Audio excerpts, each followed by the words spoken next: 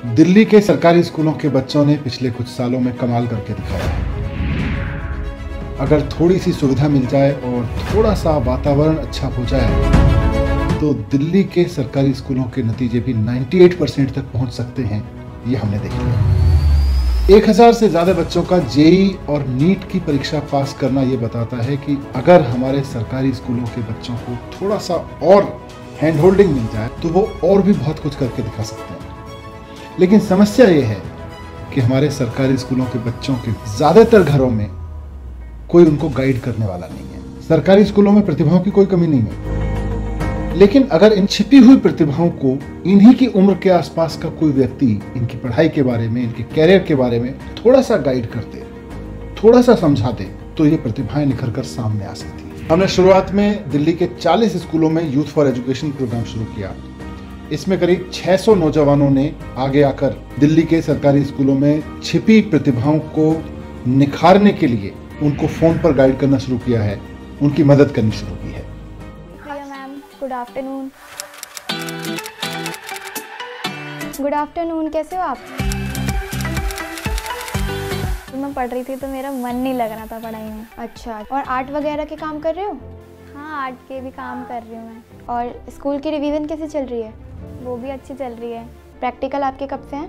Practical मेरे मार्च में है। प्रैक्टिकल वगैरह की फाइल्स वगैरह तैयार हो गई हैं? मैंने फाइल्स दे भी दी। आपने सुनी ये बातचीत? ये थी मेंटर प्रिया मिश्रा और उनकी स्टूडेंट सिमरन वर्मा।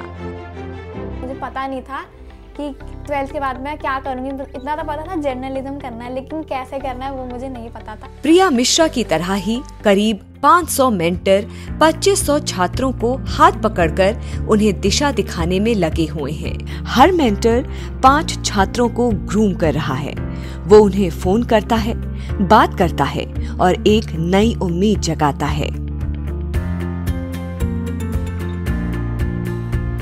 आपका सिर्फ़ टाइम चाहिए सिर्फ़ 10 minute 10 minutes of your day जहाँ पे आपको अपने मेंटी से बात करनी है। You are not not getting paid for this program but the result that you will get will be more than वो what you get from the money अगर ये 10 मिनट मुझे किसी ने दिया होता मेरे टाइम पे तो शायद मेरा प्रोफेशन अलग होता। टीचर और स्टूडेंट के बीच में जो एक कनेक्टिविटी अलग होती है जो हमारे फ्रेंड्स के साथ होती है बट फ्रेंड्स तो हमें हर चीज़ प्रोवाइड नहीं करवा सकते बिकॉज़ वो भी हमारी एज के हैं। At that time we need guidance जो गाइडेंस हमें कौन प्रोवाइड करवाएँगे?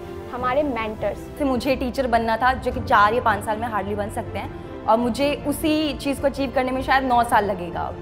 तो इसीलिए मुझे ऐसा लगता है कि वो चीज़ वो टाइम अगर मैं किसी बच्चे की लाइफ में दो साल भी बचा रही हूँ तो शायद ये बहुत अच्छा अचीवमेंट हो जाएगा मेरे लिए। क्या होता है कि एक कॉन्फिडेंस और एक सेल्फ स्टीम होती है। सो so, इनिशियली जब मैंने बच्चे से फ़र्स्ट कॉल करी थी तो उन्होंने मेरे से बात करी hello hello sir sir sir क्या सर सर सर सर मेरे को पता सर मैं क्या मेरे को पता। अभी जब मैं उनको कॉल करता हूँ सो दिस एज सर क्या हाल चाल है सर? तो सिर्फ़ पढ़ाई को लेकर नहीं बिकॉज़ पढ़ाई को लेकर और करियर को लेकर बात करो तो बच्चा ना एक टाइम पे मुझे लगता है मुझे ब्लॉक कर देगा।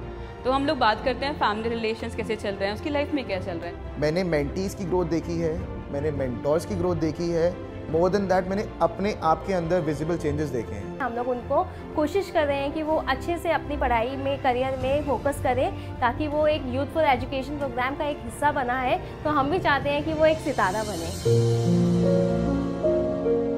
एज ए मैंटोर मैम नहीं थी तो उस टाइम इतना मैं कंफ्यूज थी कि टीचर बनना है पर कैसे बनना है क्या करना है कौन सा सब्जेक्ट चूज़ करना है I don't know anything जैसे हमारा हमारे जैसे बहुत बंदा ऐसे है जो उसको हेल्प करने वाला, आगे बढ़ाने वाला कोई नहीं है। तो हम चाहते हैं जो उनके लिए भी होना चाहिए।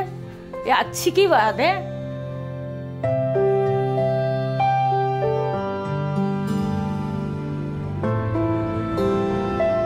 हमारा दिल्ली एक परिवार है। दो करोड़ लोगों का परिवार है। ये प्रोग्राम उसी दिशा के अंदर है। ये शिक्षा को जन आंदोलन बना रहे हैं। शिक्षा को जनता के बीच में ले जा रहे हैं ताकि सारी दिल्ली मिलके एक परिवार की तरह हम अपने सारे बच्चों को अच्छे से ग्रूम कर सकें, अच्छे से बड़ा कर सकें, ताकि सारी दिल्ली के बच्चे एक साथ मिलके, सारी दिल्ली मिलके अपने बच्चों को अच्छा बना सकें। तो ये एक जन आंदोलन की प्रक्रिया है। मुझे पर्सनली ये लगता है कि ये प्रोग्राम हिस्ट्री क्रिएट करने वाला है और आप उस हिस्ट्री के शुरुआती दौर का हिस्सा बनने जा रहे हैं। इस साल इस प्रोग्राम को दिल्ली के सरकारी स्कूलों में पढ़ने वाले दसवीं से बारहवीं तक के करीब साढ़े पाँच लाख बच्चों के लिए शुरू किया जा रहा है। इसके लिए दिल्ली नहीं देश भर के युवाओं का हम इसमें जुड़ने के लिए आह्वान करते हैं। हमारे सरकारी स्कूलों में जो बच्चे पढ़ रहे हैं, अगर उनको थोड़ी सी गाइडेंस मिल जाए, उनके कॉन्फिडेंस को कोई थोड़ा सा संभालने वाला मिल जाए तो इन्हीं में से कल कोई कलाम साहब जैसा महान वैज्ञानिक निकलेगा। ये जो स्कूलों में प्रतिभाएँ छिपी हैं, इन्हीं में से कल कोई आईपीएस निकलेगा, आईएएस निकलेगा, देश की सेवा करेगा, फौजी बनकर देश की रक्षा करेगा, किसी बड़ी कंपनी का सीईओ बनकर दुनिया में नाम करेगा, या कोई व्यापारी बन के कोई कंपनी सेटअप करके हज़ारों लोगों को नौकरियाँ देगा और देश की अर्थव्यवस्था में योगदान देगा। अगर आपको लगता है कि आपके पास कुछ ऐसा है जो आप दिल्ली के सरकारी स्कूलों में पढ़ने वाले किसी बच्चे को सिखा सकते हैं, उसको समझा सकते हैं, उसको गाइड कर सकते हैं, उसके मेंटर बन सकते हैं तो आइए, इस प्रोग्राम का हिस्सा बनिए